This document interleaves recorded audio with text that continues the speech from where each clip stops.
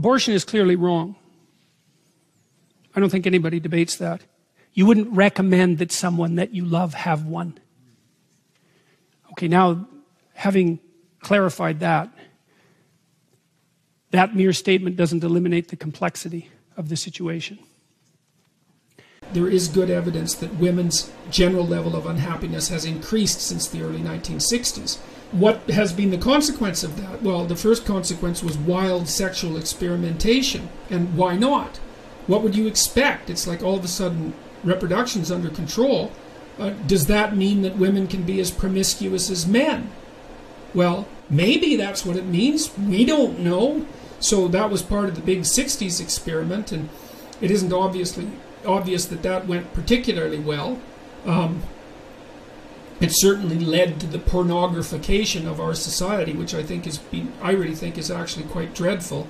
Um, maybe that's my innate prudishness, but I don't know. It seems to me that pornography demeans the participants as well as the viewers. There's something second rate and furtive about it.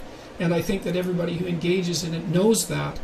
Um, it's it's a it's it's an it's a substitute for the real adventure of life, and I do think that it leads to a certain kind of uh, perhaps contempt.